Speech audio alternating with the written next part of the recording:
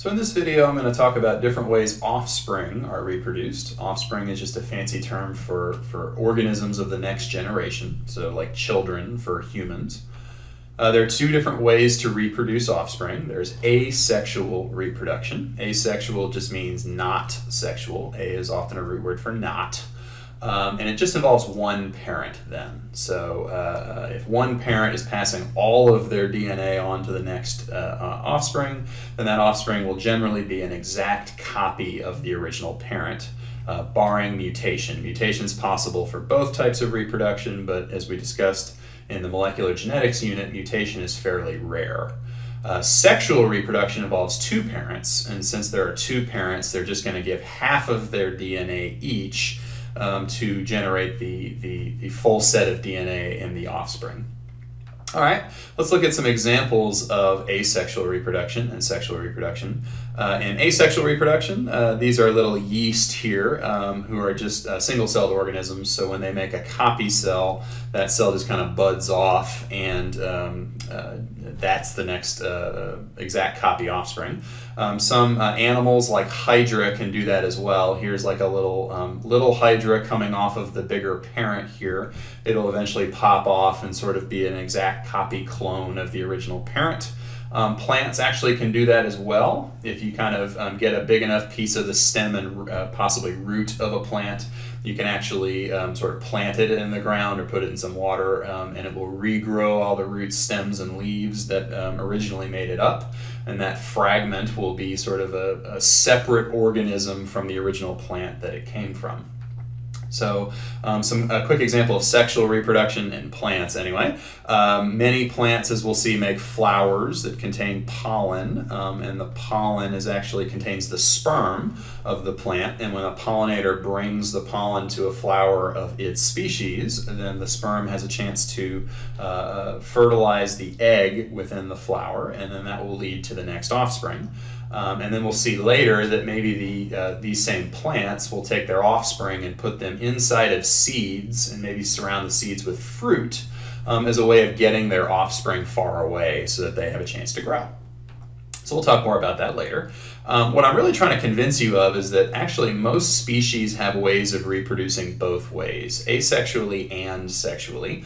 And so we'll want to really make clear why um, each type of reproduction can be advantageous. There are some exceptions to that. Uh, bacteria can only reproduce asexually um, because they're only capable of doing a copying type of cell division, as it turns out. And then um, plenty of other animals, including us humans, can only reproduce sexually. So um, there are some exceptions, but lots of organisms that can reproduce both ways. So let's talk more about um, uh, thinking about the chromosomes and how they're passed on to offspring.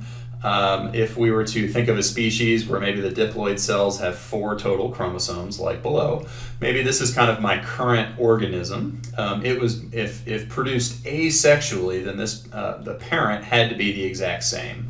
And the idea is that to reproduce our current organism, the parent just copied all of the chromosomes and then uh, passed every single uh, copy of every single one of them onto the offspring. Again, barring mutation, the, uh, the organism will be an exact copy of the original parent. If this organism itself goes on to reproduce asexually, then the same thing. And so again, the idea is that asexual reproduction, for the most part, generates exact genetic copies of that one parent. Why might that be a good idea? Um, well, first of all, you don't have to find a mate with asexual reproduction. You yourself can just produce offspring. So maybe it produces offspring faster than sexual reproduction. Um, and there are cases where maybe making exact genetic clones could be very beneficial to that offspring. Um, what if your species lives in an environment that generally isn't changing? It's very stable. Your species might be very well adapted to live in that environment. So maybe if you are an exact clone of an organism that itself is surviving very well, then perhaps you'll survive very well. So there are plenty of advantages to asexual reproduction. Let's um, uh, flip now and look at sexual reproduction. Let's say that we have our same organism from before, um, but what if that organism was produced sexually? Well, maybe the parents could have looked like this. Um, notice that each parent is a little genetically different from our current organism. Um, that's because when they reproduced that organism sexually, they just uh, passed on one of each of their chromosomes, one of each of their homologous pairs. Maybe this parent um, passed along those chromosomes, whereas the next parent passed along those chromosomes, and that's what led to our current organism.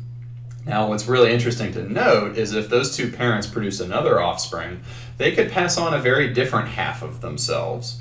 And so that's why if you have biological brothers or sisters, that's why you, you have many things in common coming from the same two parents, um, but they might have passed on different halves of themselves, and that's why you have some differences from your brother or sister as well. If this organism eventually finds a mate and goes on to reproduce with that mate, maybe they pass on this half of themselves randomly and produce this offspring. And so, really, I hope you're getting to see the theme of sexual reproduction is that you can really mix things up genetically by passing on a different half of yourself each time. And that really is the purpose of sexual reproduction. The whole point is to generate the genetic variety needed, um, perhaps in environments that are stressful or unstable. Maybe organisms that are a little bit different in the next generation might have traits that help them survive change. Uh, for example, what if your species is uh, facing a new disease that's making you sick? Or what if there's a new predator on the scene who's eating a lot of members of your species? Well, maybe by having offspring that are a little bit different, by mixing things up, maybe some organisms would just have genetic resistance to the disease. Or maybe they would have some kind of strategy like hiding from the predators who are eating so many members of your species. Um, and so that really is the purpose of sexual reproduction. And so, what we just kind of covered very briefly are just two types sexual and asexual reproduction. And we tried to explain why um, there are advantages to both types of reproduction, and that's why many organisms can reproduce both ways.